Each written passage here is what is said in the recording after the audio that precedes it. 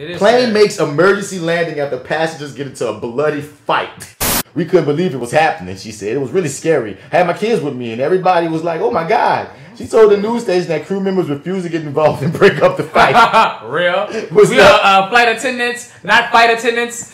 One code, one thing, one rule, man, that shit don't change. And it's certain real niggas do real fucking things. Everybody's like, why aren't you doing anything? this ain't my job. I don't get paid for this we'll shit. get paid Look at deal this. I ain't gotta read that shit to no dog. Baby, black people, we don't get paid for this shit. They said we don't get paid enough to deal with this. We got on skirts and pants. you think we out here breaking the fights, nigga? No, we had to send me peanuts and liquor. After the men, after the men stop fighting, My reals, hold on. I have had it with these motherfucking snakes on this motherfucking plane. they went into the bathroom to clean themselves off and change out their bloody clothes. So y'all niggas became cool after this? They were taken off the plane by police. Of course y'all were. Dumbass motherfuckers. Now y'all gotta clean each other up. Man, y'all, y'all should be banned from flying anywhere again, son. Y'all both cannot fly nowhere, son, for at least 10 years. Dumb motherfuckers. Man had to pull a plane off all that wasted gas. If I was a, son, if I was a passenger, I'd have whooped both of their ass after that. Yeah. Just because I'm like, you done fucked up my flight. Scared everybody around you. My, people, kids get scared. I might as well whoop your ass too, bro. I might And now well we're in your ass. Iowa. And now we're in Iowa. We in G. bumfuck Iowa. Man, fuck that. No, I ain't give no shit. No, no, man, fuck all that. Get off the phone, white lady. Everybody, I'm sorry. I'm not trying to make a fucking situation. I'm not. And everybody ain't even finished boarding to go to show you how y'all down bad. And I played my shit right here, and I got my shit. You wanna look at it? I got my shit. I paid my money. So fuck you, pussy. Fuck you, fuck you, fuck you, fuck you, and fuck everybody who got a problem. Let me off this motherfucker. What do y'all what do y'all think about this? I saw um I saw a comment, I forgot where I saw it, but somebody said um black people are the only ones that's pitting their artists like against each other and white people aren't aren't doing that shit. Because white people are lame and they ain't got, No. you know, they boring. We having fun.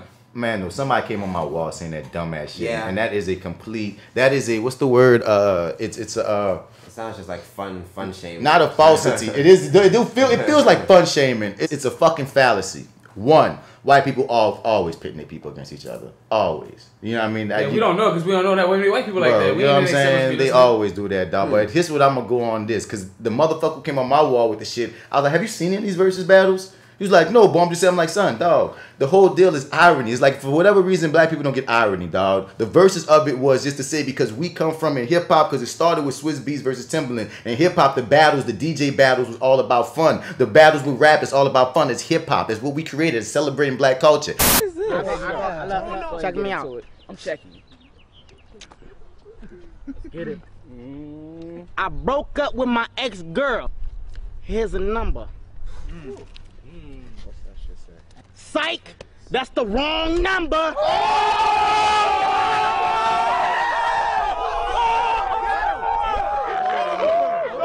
Hey, let's calm it down. Let's calm it down. How does that make you feel? What? Spit that. Sweet dollar tea from McDonald's. Yep.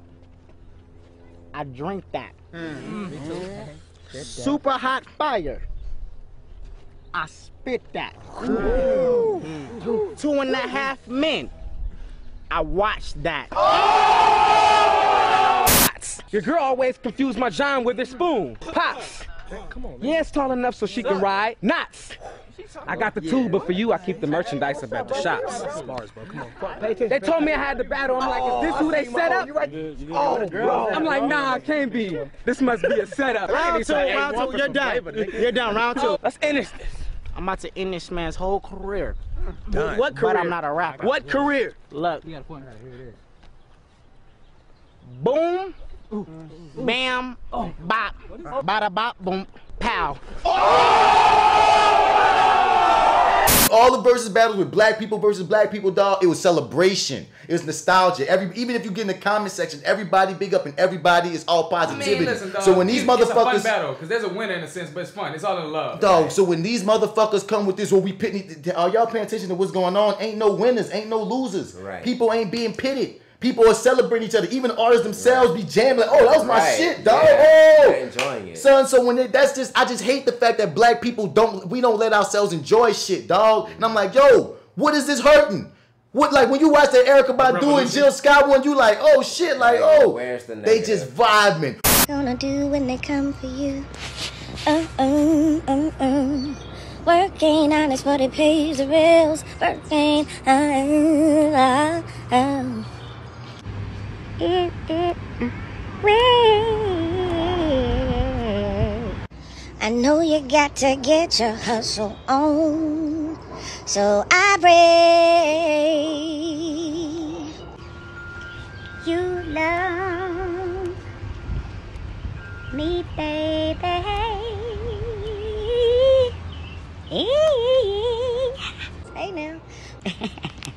No, nobody shaming nobody. Like, oh, uh, oh, it's like happy, like it's like being like in a family reunion. It's like, like they we cracking on each other, but the cracks is even like light cracks. Yeah. He's like, oh, look at what Badu wearing. Oh, shit. like this is playful shit, dog. I hate when we gotta always get so serious about shit we ain't being serious about, but real shit, them same motherfuckers are the ones backing up. I say Boosie. Boosie, niggas ain't serious about Boosie. That's the same niggas backing up but they want Boosie. serious verse battles and wonder why we That's versing a and shit.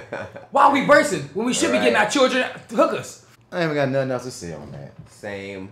Justin Timberlake is facing backlash after disabling the comments on his post about the killing of unarmed black men. Amanda Seales came at his neck about um, he turned off his comment section, and she was saying that uh, you know no turn that bitch on and see who what, what, what your real constituents are like. Let me see a little bit of this. I'm gonna say right off the rip, he don't have to fucking put the comments on. But let's see what she's say. This goes out to all the white celebrities. You see, I turned off my comments because I got tired of arguing with racists. But you know what? It's your turn. Turn on the comments. Let them talk to ya. A whole lot of racists. A whole lot of privilege saying, I don't see color over and over and over and over and over again. You wanna be down? Well, let's see what you about. Riri said, pull up. Y'all on some bullshit out here. You buy my album, but you're not even realizing I'm doing black music and I'm saying black things. Come on, turn on. Well, Justin Timberlake is known to be on some other shit with that. Like this ain't his first time, like being caught trying to like ride the black wave and then not really be a part. Oh, that? And that's what we're talking about here. Like a lot of people's hating on it because a lot of people don't like Amanda Seales, but some, be doing the most sometimes. At times, but a lot of times she be right too. You know what I'm saying? There's a lot of white celebrities that do that. They choose how they want to engage and disengage with our issues. They'll take from our culture. They'll take all the good and they'll just like, but like when, like we need them on that march, they ain't there for that march. They'll throw up a little tweet. They'll throw up a little tweet like this is Uh-huh, wrong, uh-huh, but you ain't really uh-huh. putting no money or no effort behind it. You ain't telling your people, hey, stop this shit. You know what I mean? You gonna turn up your It's comment like some, section. It's like some piece piecemeal as as shit, but then you don't even want to take the potential heat that can come from saying, okay, you know what? I gotta take back what the fuck I said about the comments, bro. You gotta turn them. You turning the comments off, yeah, that don't look good. And it that and and and, and, it and it goes a little bit. And it's yeah. and it go, and the thing is, yeah. you're absolutely right. And you're absolutely right about he don't have to. You're right. But when you talk about the context of you saying yeah. to an ally, if you're speaking mm-hmm. up about this, and then we say with Joe talk about your history, Justin Timberlake, with black culture, with Janet Jackson, with the whole deal, and they got buku shit. Not just Janet, they got buku transgressions well, uh-huh. that black people be like, yo, Justin, you be here and there and shit. You know what I mean? And then remember recently when he wanted to be white again, he changed his whole image for his Like most fucking, recent uh, album, looking like like, he was on brawny tissue. he looking like the nigga right, like he, it's Chopping wood he was shit. Dexter the K in the woods and shit, Yeah. bro. He, cause he wanted the, cause we in Trump America, he was chopping a new album and he wanted to have a different Oh. little image right fast. Oh. It's interesting. That's what I'm saying. When people was riding the Justin defense, I'm like, bro, Oh. for one,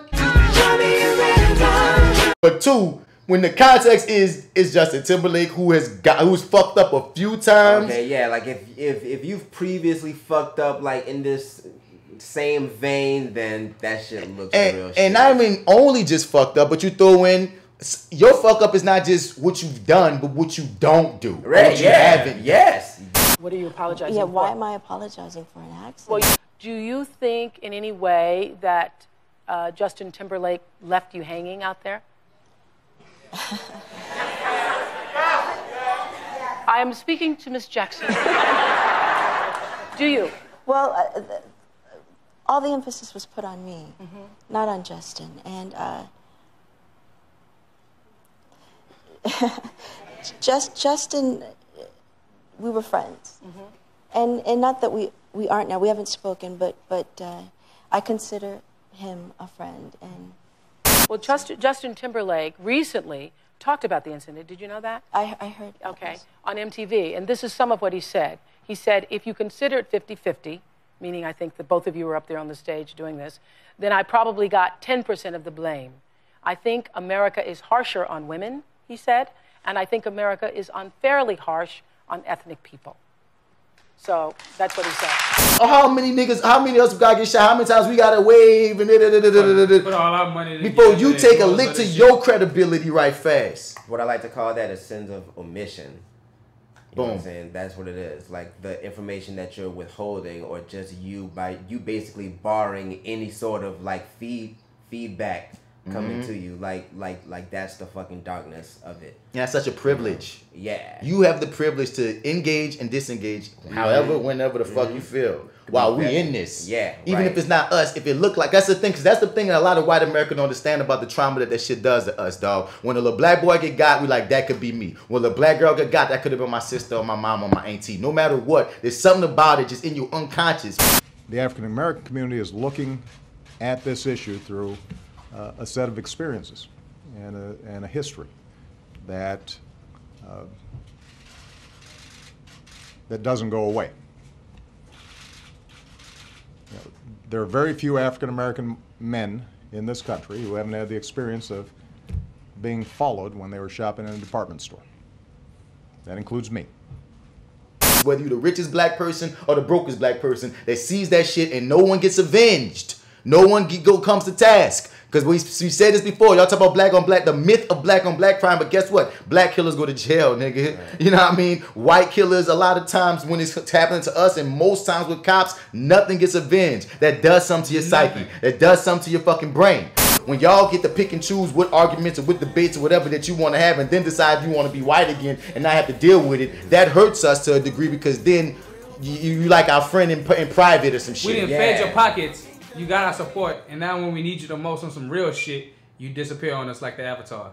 Like- like- Put up a little fucking when we need you the most, he disappeared. This nigga, he say like the, the last airbender. He's gone. One goal, one thing, one rule, man, that shit don't change. And it's real niggas do real fucking things.